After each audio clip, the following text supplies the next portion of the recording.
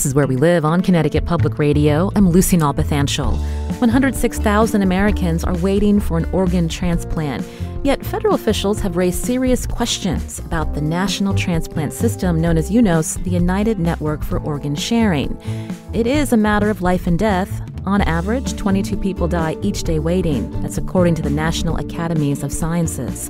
Coming up later, where we live, we learn about a confidential government report and a two and a half year Senate investigation, both finding serious weaknesses in the transplant system. And we learn why they recommend an overhaul of the network. Washington Post health and medicine reporter Lenny Bernstein joins us later, and we also hear from the chief of transplant surgery at Hartford Hospital. Now, do you have experience with the organ transplant system? We want to hear from you. Our number 888-720-9677. That's 888-720-WNPR. Share a comment on Facebook or find us on Twitter at Where We Live. First, we wanted to talk to a Connecticut resident who is waiting for an organ donor. Kevin Prue lives in Madison, Connecticut. He has end stage liver disease and is on the wait list for a liver transplant, and he's searching for a living donor. He joins us now on the phone with his wife, Amy, who manages their Facebook page, Kevin's Journey to Liver Transplant. She's also a volunteer with New England Donor Services. Kevin and Amy Prue, welcome to our show. Thanks, Lucy. We appreciate you. you having us. Good morning. Good morning. Kevin, I'll start with you. I understand you were listed for a transplant back in March 2020, and now you're also a candidate for a living donor. So, can you tell us a little bit about your journey on to the wait list and what it's been like? Yeah, and it, at times I'll um, I'll um, deviate or deflect to my wife because she actually knows more about it and has more education. As a patient, you're so much focused on your individual health and, and path. But the um, I was diagnosed probably two and a half, three years ago uh, with having some form of um, liver condition, um, which just slowly um, but expeditiously over a six month period of time um, became very problematic uh, as a health condition um, between the ability to walk, the ability to function, and manifested itself in um, one of the byproducts is called ascites, where your fluid doesn't process, your liver doesn't process the fluids going through it, so they call it sweating. And all that fluid just goes into your abdomen, causing pressure on your your uh, other organs. Um, so in order to do that, I went through many procedures called paracentesis, um, where they actually drain the fluid from you. Um, and if you could only imagine uh, going in in the morning and an hour and a half later coming out 22 pounds lighter uh, because 11 liters of fluid had been taken off you. That's how much pressure um, I was experiencing then. Um, I've been listed, to get back to your question, I've been listed for two and a half years. Um, we've, um, at that point in time, um, our team at Yale, which is, has been absolutely fabulous. I understand you're talking to somebody at Hartford Hospital today, and I'm sure they're just as uh, great. But our team um, has has done everything uh, amazing.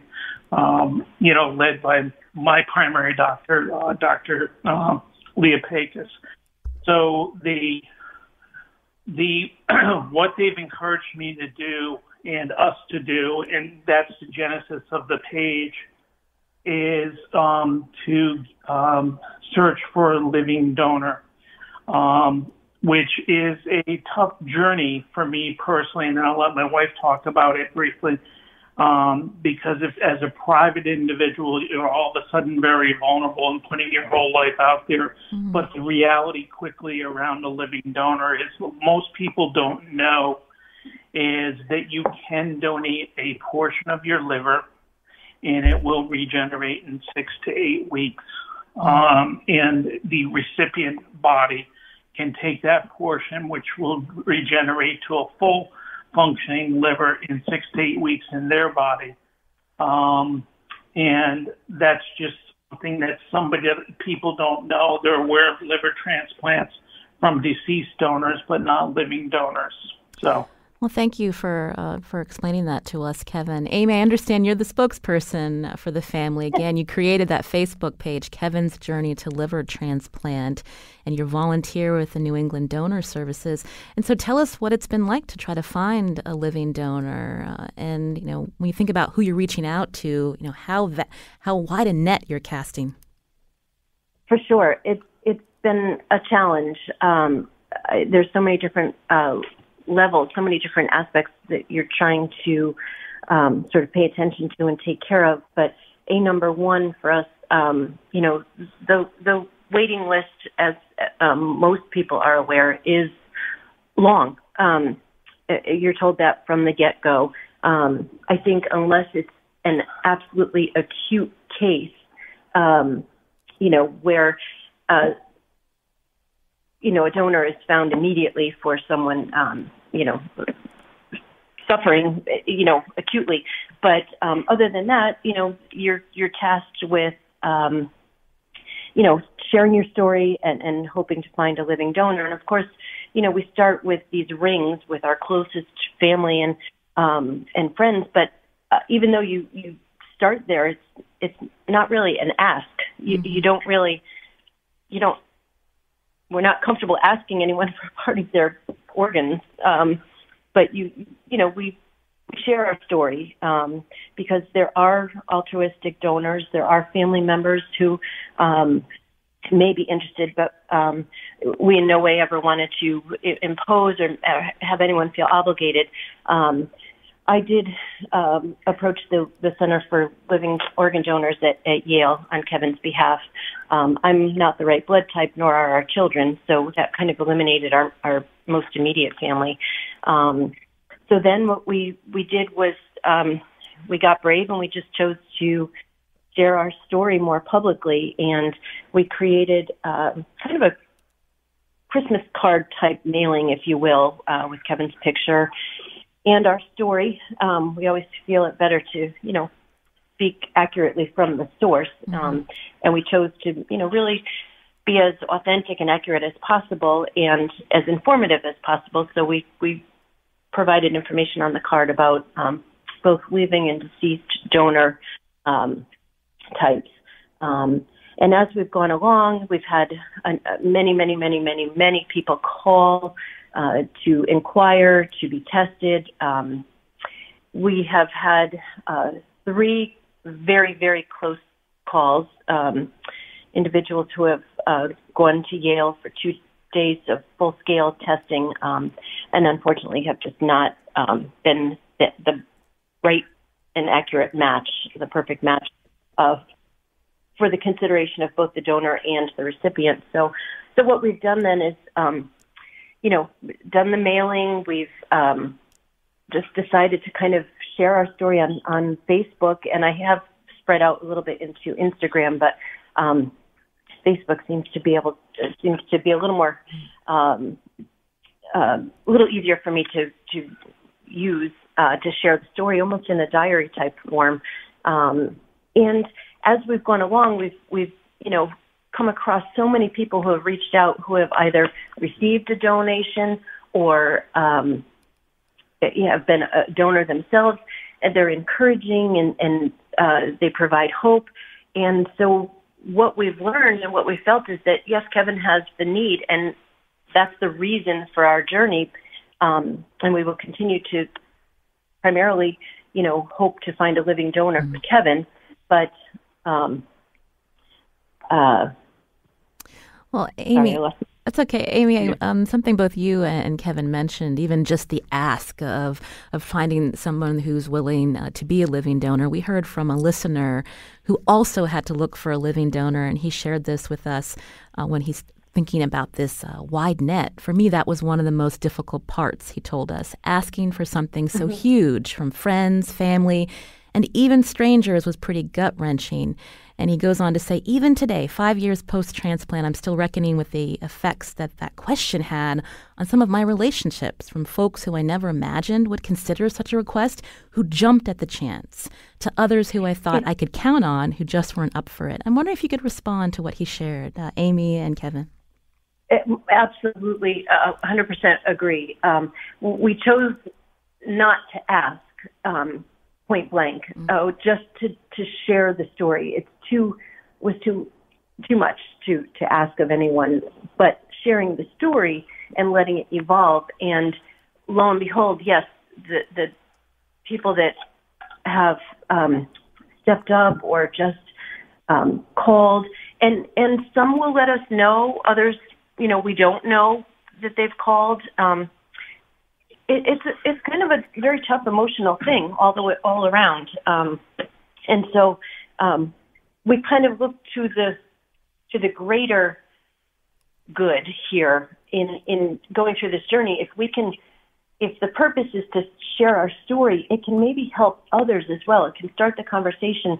And uh, we've met some wonderful, wonderful people through uh, New England Donor Services and Donate Life Connecticut um, who have kind of helped us to get comfortable with the process and understanding that by sharing our story, if we can raise awareness uh, for the value of um, what a, a donated organ can do, and um, then then that will be good as well. It'll be good for for all those waiting because you know, as you said at the top of the story, there are, are hundreds of thousands of people waiting.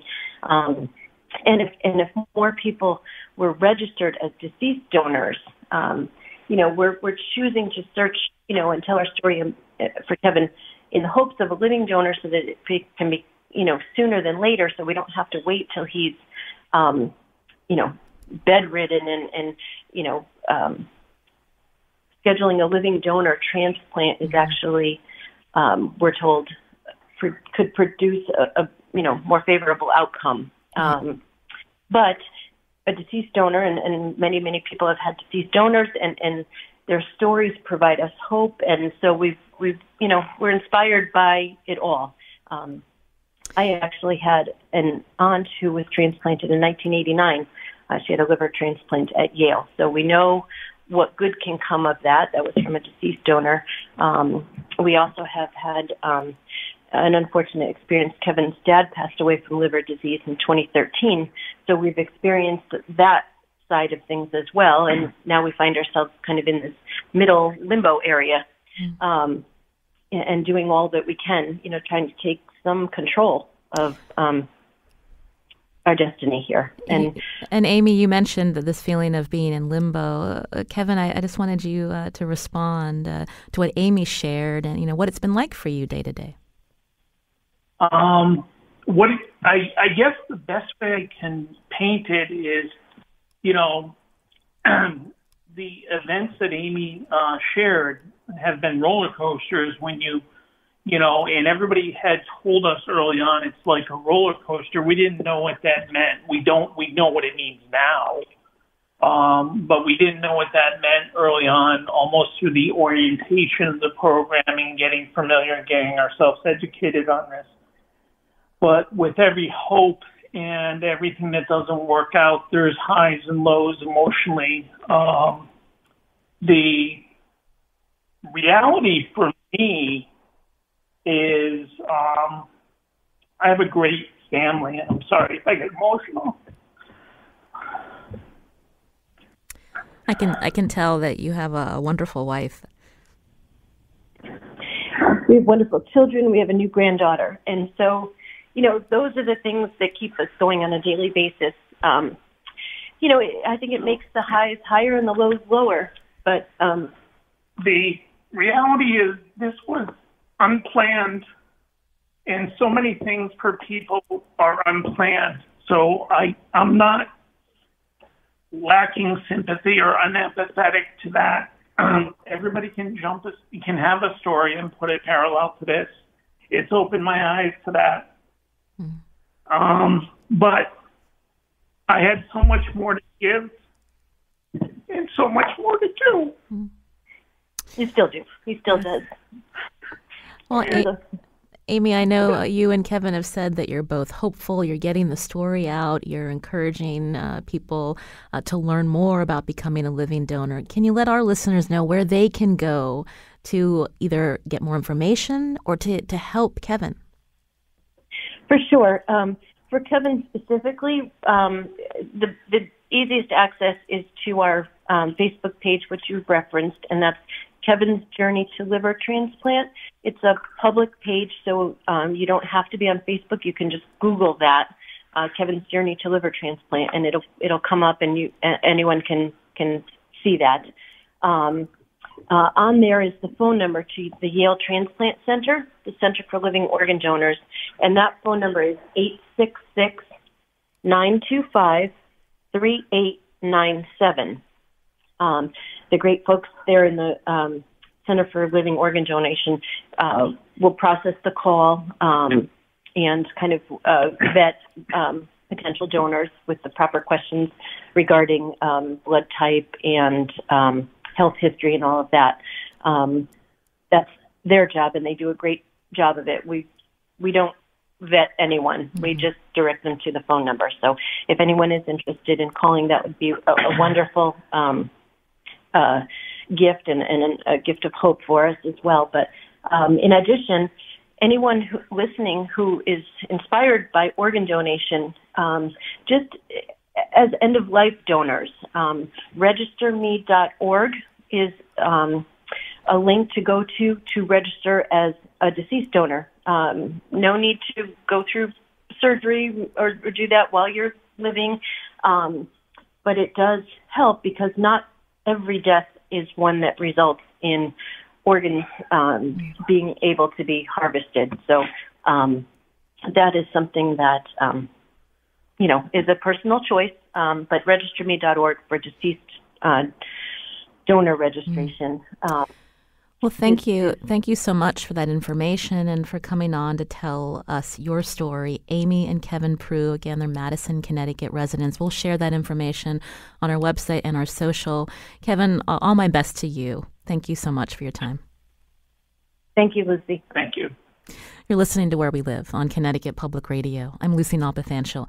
Now, coming up after the break, we're going to learn about a confidential government report and a two and a half year Senate investigation both finding some serious weaknesses in the transplant system in the U.S., and we learn why they recommend an overhaul of the network. Washington Post health and medicine reporter Lenny Bernstein joins us, and later we hear from the chief of transplant surgery at Hartford Hospital. Now, do you have experience with the organ transplant system? You can join us too, 888 720 9677, or find us on Facebook and Twitter at Where We Live.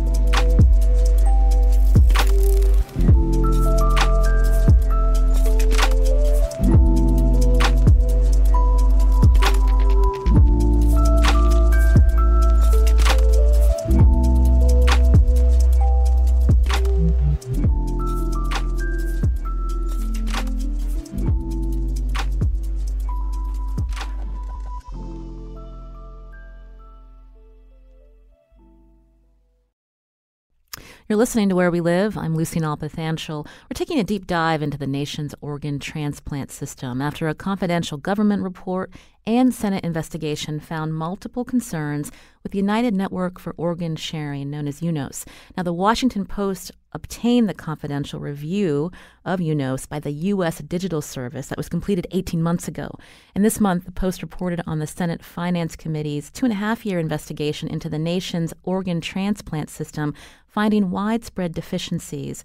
The Senate report finding 70 people died and 249 developed diseases after mistakes in the screening of organs they received in transplants.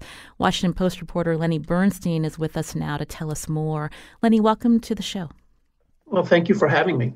Uh, you, there were several articles by the Post looking into uh, the transplant network and, and, why officials say that the network needs vast restructuring. So, break it down for us.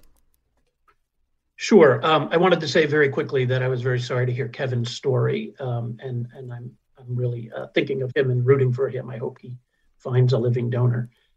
Um, the you can think of the um, digital service as sort of a red team or a strike team that gets invited into different um, agencies, uh, sometimes nonprofits, but mostly federal agencies to examine their tech, and they're really top-notch engineers uh, they were invited by one of the government agencies, HRSA, to look into the tech that UNOS, uses to run our transplant system. And they found that it is highly flawed. Um, first of all, it has never been fully audited by anyone in the federal government, which is alarming because UNOS has run the system for 36 years. Um, it crashes. Um, it may crash a little bit more often than uh, the kinds of crashes that we are familiar with in the systems that we use. Um, it's not in the cloud. Uh, the algorithms that are used are so complicated and so interwoven that when they want to make a policy change, it can take a very long time to just push that through their tech. Um, and uh, it relies on a lot of manual input, uh, which in the day of electronic medical records is not a good thing. Um, subsequently, the Senate came out with its own two and a half year investigation of the system. And that also was very wide ranging, but uh, they examined hundreds of thousands of documents. And one of the documents they found was a UNOS report that showed that from uh, 2015 to 2022, the um, 70 people died and uh, 249 caught diseases as a result of their transplant. Um, I mean, I have the years correct off the top of my head, but it was a seven year period. Mm-hmm. Now, let's be quick to say there were over 170,000 transplants during that period. And so, you know, it's a teeny tiny little fraction, but still, these were preventable mistakes. They were blood typing mistakes, they were failure to screen. Um, they also found that a lot of organs go to waste. About 21% of kidneys procured in this country are never transplanted. Uh, those are the result of transit mistakes. They are the result of surgeons being very picky about the organs they use. They are the result of mistakes made by the uh, organ procurement organizations. Um, there was a surgeon who testified at the at the hearing on this that um, you know there were organs stashed in a uh, storage center overnight, and then by the time they got to her, they were mm. useless. We've mentioned, so, um, sorry, Lenny, you mentioned yeah. UNOS now. I'm wondering if you could then maybe describe the network because there's the UNOS that's based, I believe, in Virginia. It's a nonprofit, but then how it interacts with what are known as organ procurement organizations. Because when we think about some of the mistakes that are being made, you know, who's responsible here? Yes, it's a complicated system. Um, the government gives 57 small nonprofits called organ procurement organizations monopolies over little pieces of territory. The country is divided up into 57 pieces. And they each OPO is responsible for one of those pieces, but no one can compete with them. They have they have the contract. They procure the organs at hospitals uh, when somebody dies, when someone uh, when a brain death occurs. And I wanted to point out that very small percentage of deaths are eligible for transplant. So it's a difficult job. And UNOS sits at the center of this and coordinates it with some monitoring from the government, but not very much. And that is one of the core problems here. Um, they take these organs, and in the most most of the time, more than 80% of the time, they are kidneys, and they bring them to the transplant hospitals. Often they send them on airplanes, um, but with livers and hearts, um, surgeons will sometimes, oftentimes, come out and get them themselves because they are so rare and valuable. Hmm.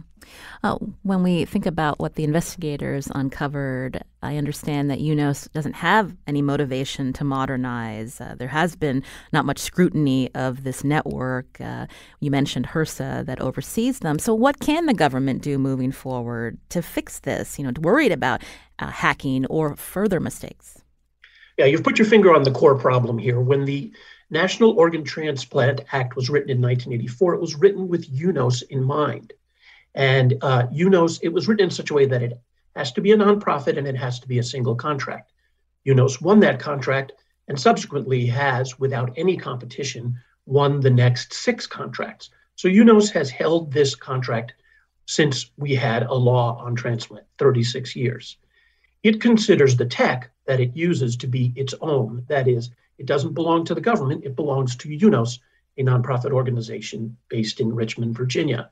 So its motivation is to hold on to this contract as long as it can. It's a $65 million contract with six and a half million coming from the government. It's not a huge contract, by any means by government standards, but it's a good contract and it employs a lot of people. It resists efforts from the government to make it modernize. Why? We don't really know. What, is it the spending of money? Is it uh, that uh, something would change? We don't really know why UNOS has been so slow to modernize. But we, what we do know is the only way to create competition with UNOS is for Congress to change the law. And as you know, that's a very difficult lift these days. That's for sure. You're hearing with us on Zoom Lenny Bernstein, health and medicine reporter at the Washington, uh, Washington Post, as we learn about uh, its investigation and reporting on the National Organ Transplant System known as UNOS. If you have a question or comment, you can join us 888 720 9677 or find us on Facebook and Twitter at Where We Live. Coming up, we're going to hear from a local transplant uh, surgeon uh, from Hartford Healthcare. Uh, but when we think about the Senate investigation, uh, Lenny, and I think there were more about 1,100 complaints uh, when it when there were mistakes or issues with uh, transplants or trying to find uh, an, an organ uh, match. And I'm wondering how UNOS has dealt with these complaints, and, and, you know, is that also part of the problem? Yes, you've raised an important point here. Um, one of the most valuable things that the Senate did that no one has been able to do before was to go in and get, through subpoena uh, and other means, all the complaints that went to UNOS about problems. One of UNOS's jobs is to monitor these complaints, to investigate them, and if necessary, to sanction the organization, whether it's a transplant hospital or an OPO or a lab that made a mistake. Um, what the Senate showed was that uh, that less than half of them really amount to anything. They're they're sort of more than half are kind of ignored or discarded, or nothing really happens to them. And only once or twice has there been any kind of sanction uh, from UNOS to the organization. Now, UNOS insists that it relies on a system it calls peer review, which is we're a coach. We want to help this OPO get better. We want to help this transplant center not make this mistake again. The problem is that we're now 40 years into the system without accountability, without someone punishing someone for making the same mistakes over and over again, nothing changes. That's why in 2019, the government took the very first initial steps to make OPOs better at collecting organs from hospitals. Many of them underperform in this area. There could be thousands more organs in circulation according to the government, if these OPOs did a better job. Hmm. And again, so, OPOs mean organ procurement organizations. Yes, the 57 small nonprofits around the country that pick up organs at hospitals and make sure that they get to transplant centers. You know, I started the, the show talking about the people that are waiting. Uh, I think nearly 106,000 Americans. And so, what does all this these reviews happening on the federal level mean for people currently on the list, Lenny? I'm afraid it doesn't mean very much immediately. Um, the hope is that reform will uh, take shape and grow, and that the system will be made more efficient, more accountable, uh, so that there are more organs in circulation. There is less waste of organs that are so badly needed by people, and that over time, possibly, you know, five years, 10 years, I, I'm, I'm really making that up, uh, you would have a system that whittles away at that list and brings it, you know, to a much smaller number of people waiting for organs.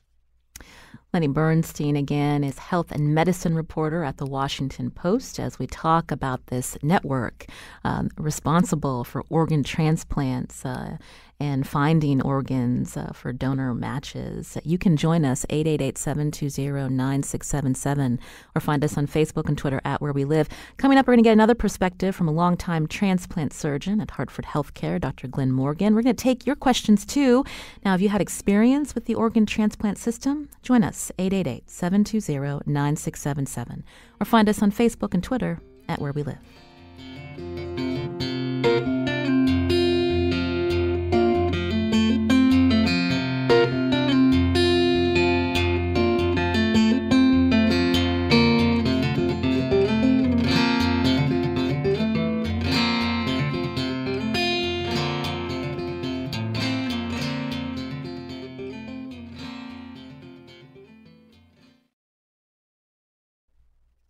You're listening to Where We Live. I'm Lucy Nalpathanchel. We're taking a deep dive into the nation's organ transplant system. Washington Post reporter Lenny Bernstein is with us.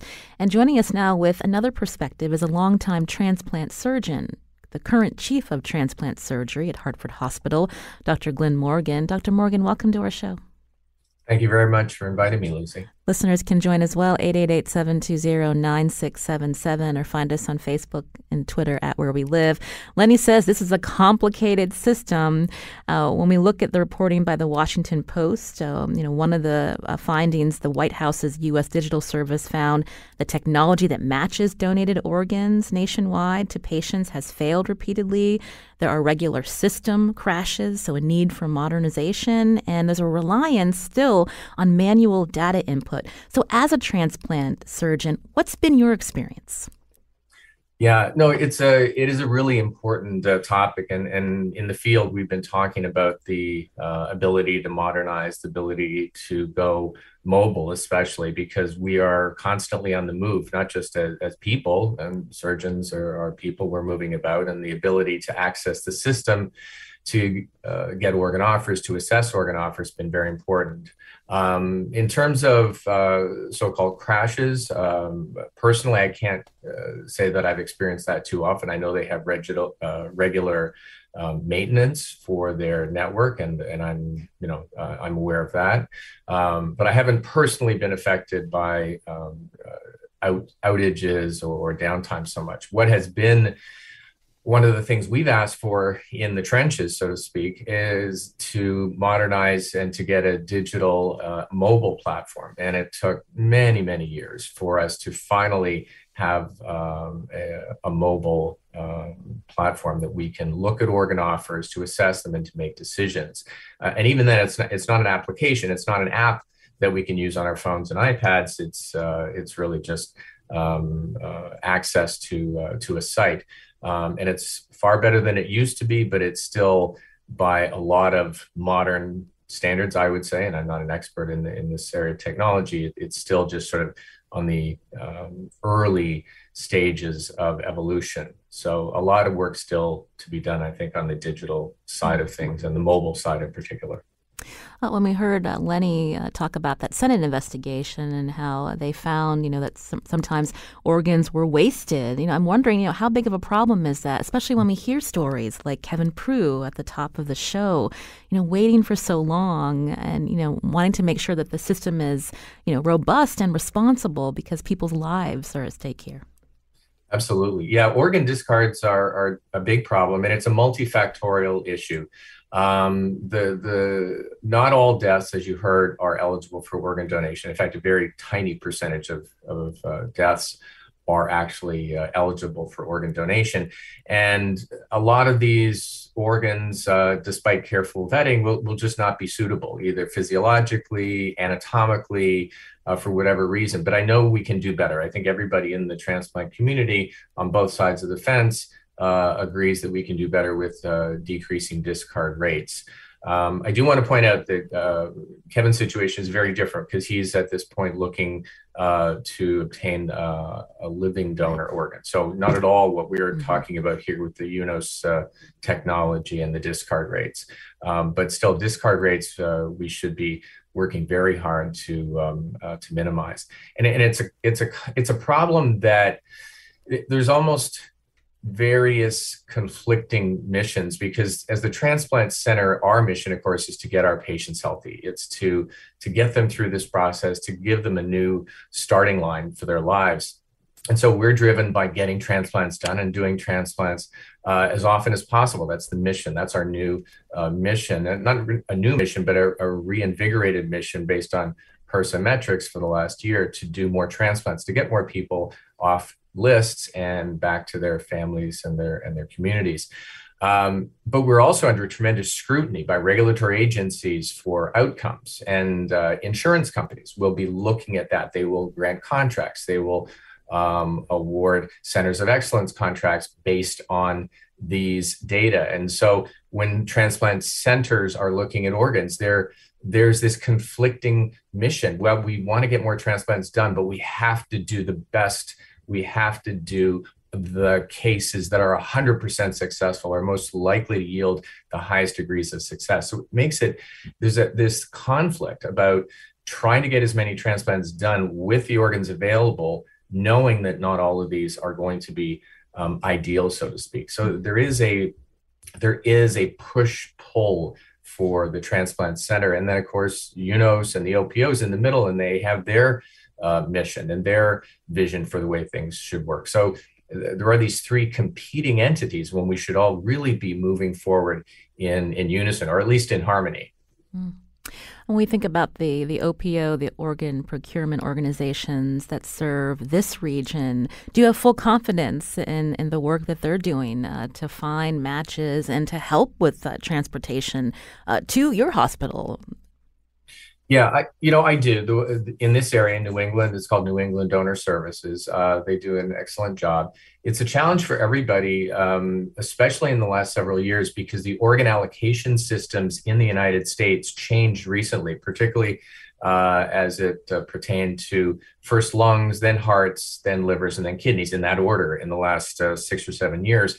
And so organs that used to be uh, limited uh, to a large degree based on geography have now those geographic barriers have been taken away, which was a very good thing for our patients. So the patients who are the most in need, the critically ill patients, are now getting organs at a much higher rate. So the success rates for getting organs to critically ill patients have gone up. There's still a big need for patients who are more stable, but uh, getting those organs to people because the geographic boundaries have been taken down are now we're dealing with a lot more logistic challenges getting these organs from point A to point B. So we used to get organs primarily from New England. Now it's very unusual for us to get organs from the New England area. We'll be getting them from the Midwest or the South because uh, of the dropping of these geographic uh, uh, barriers. So it's been good but it's also a challenge when you think of uh, logistics. Hmm. You're hearing Dr. Glyn Morgan here on the show, Chief of Transplant Surgery at Hartford Hospital. Lenny Bernstein's still with us, health and medicine reporter at the Washington Post. Post, Lenny, I wanted to hear your response to, to Dr. Morgan's perspective, including that that uh, conflict that he had mentioned. Um, I agree completely uh, with what he said. Um, I think organ transplantation is a medical miracle. I've studied it now for years. Um, the advances made since early organ transplantation, both in technique and uh, in um, immunosuppression, uh, are incredible. And you know there are hundreds of thousands of people alive today because we have this in our country. Um, that said, the government has put Dr. Morgan and his colleagues in a difficult position. At, they are judged on the success rate of their patients. How many of them are still alive X years down the road? So, the incentive for Dr. Morgan and other transplant surgeons is to pick the very best organs, to look them over carefully and say, this is the one that's most appropriate for my patient. That's terrific, but it means they might pass on some and they may go elsewhere or they may not be used. And so he is in a very difficult position um, trying to satisfy both goals that he mentioned. Mm. Dr. Morgan, I, I, wanted to go back to you because I, I, am curious about the screening process for both eligibility and matching donors. Because when we hear that the Senate Finance Committee's investigation uh, looking at these complaints with UNOS, again, 70 people dying, 250 others developing diseases after organ transplants, again, that is a tiny fraction as of all transplants done, as Lenny mentioned. But even this reliance on manual uh, input of data, and I'm wondering if you can talk about that, and you know, you know, again, other places where the system could be improved. Yeah, it, it's um, first of all without knowing the details, because as as you uh, are very much aware, the devil's in the details. So uh, when we talk about these, um, I'm not sure uh, that we're dealing with data entry errors or uh, issues where, for example, a donor would be identified, an organ will be transplanted, and then weeks to months later, it's found that a disease has been transmitted, such as a virus. So I suspect a lot of these are like that. And before the technology existed, for example, to check donors for hepatitis C uh, with you know accuracy windows of 24 to 48 hours, so transitions or transmissions of diseases like that could occur. Uh, we're now a lot better at that, and the system, medical science, is a lot better at detecting uh, these diseases. Just as we are with COVID, we can now turn over a COVID test uh, in an hour. So I suspect some of these things may just be dated, and in medical technology terms, even a few years can outdate something quite significantly. The data entry side is really a lot of that comes on the transplant center end, where our staff have to enter data on patients who are either being added to eligibility lists um, or are being expected to be reported on after transplant and how they're doing. Um, and you'll notice I use the term eligibility list, which is really an important distinction uh, because most organs are allocated, uh, and kidneys are the one exception to this, but the other organs are allocated based on the severity of one's illness or basically stratifying how ill your organ is making you. Uh, kidneys are the only exception. Kidneys are still allocated largely on the amount of time you've been waiting for a kidney, um, but the others are, are uh, allocated based on how sick you are uh, or how sick your organ failure is making you. Mm. Lenny, did you want to respond when we think about you know the data that was used in the Senate report, and even you know where some of these errors uh, were uh, encountered in terms of you know people getting sick or dying? I'm going to pick out one area that um, a couple of surgeons mentioned to us uh, and then testified as well at the Senate hearing, and that's tracking of organs. Um, UNOS has been so slow in developing its own technology to track an organ. Let's say it's coming all the way across the country, uh, or as Dr. Morgan uh, pointed out, from a very great distance, more which more and more of them are now. UNOS has been so slow in developing its own tracking technology that docs sometimes use other means to follow their organs. Um, one uh, one woman testified at the hearing that she looked at their technology and decided it was so poor that she went with a commercially available uh, tracking system. Uh, another doc we quoted in the story said, "Look, if we can know where our meal is through DoorDash, if we can know where our Amazon order is at every step of the way, why can't we know where a kidney is? And right now, and I'd like to hear if this occurs to Dr. Morgan, that's not always possible. Dr. Morgan? Yeah, no, Lenny's absolutely uh, spot on on this. It actually, we we actually now, and it's just starting to happen within the last year. Um, organs are packed now with GPS devices in the packaging so we can track them, but it's not universal. And again, kidneys are often transported either by land or by air without any, um, uh, there, there's no accompanying uh, physician or medical uh, staff person. So they're uh, often, you know, put on an airplane or on a bus, or it could be anything, frankly, and, and moving along. So having those with the GPS is very important. Uh, other organs, such as um, hearts, are often accompanied by the medical team, livers, maybe half the time are accompanied by the medical team but it would be nice to be absolutely sure that you could just drop a chip into a box and make sure that you knew 100% of the time where these uh, where these organs are. That it's gotten better. We do now get um, uh, a significant proportion that can be tracked um, but it's certainly not um, universal. Hmm. Before we run out of time, again, I wanted to ask uh, Dr. Morgan when we think about you know steps moving forward. Uh, you know, the government review refers to UNOS again, the United Network for Organ Sharing, as a monopoly. Very little checks and balances outside of the nonprofit. The government also has little power, and so I'm wondering if you can talk about you know is this a positive trait of the organization to not have this government interference, or do you think that there's more room for regulation?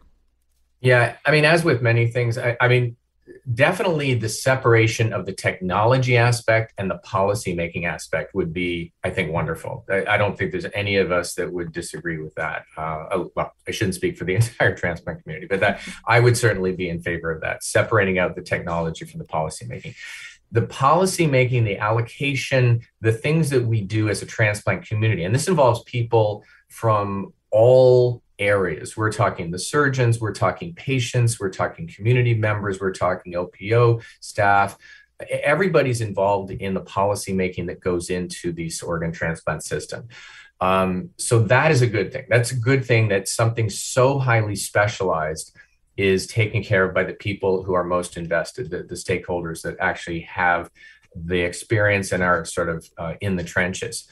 Um, but it, it, does concern me that one entity has really been, you know, the only entity to manage this contract since its inception. So um, it, it wouldn't be the worst thing in the world to have some competition.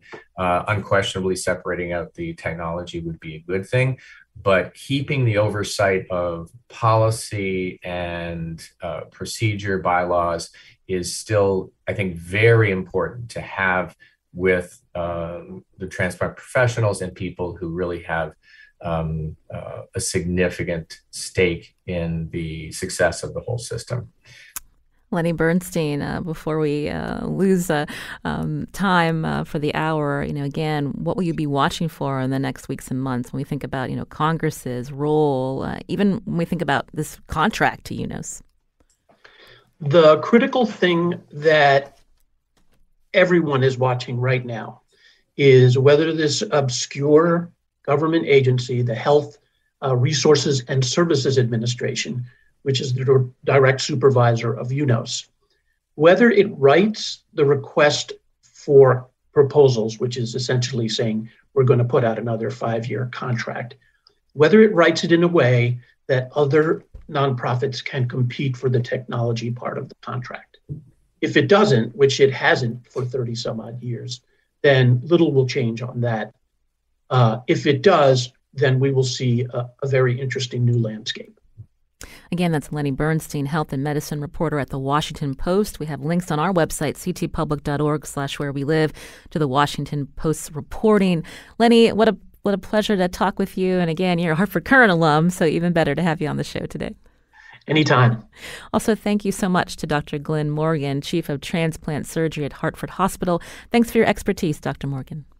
Thanks for having me, Lucy. I'm Lucy Nalpathanchel. Today's show is produced by talk show intern Anya Grandolski. Good luck this fall, Anya. Also, thanks to Katie Tolarski and Katie Pellico. Our technical director is Kat Pastor. Learn more, just download Where We Live anytime on your favorite podcast app. Back tomorrow.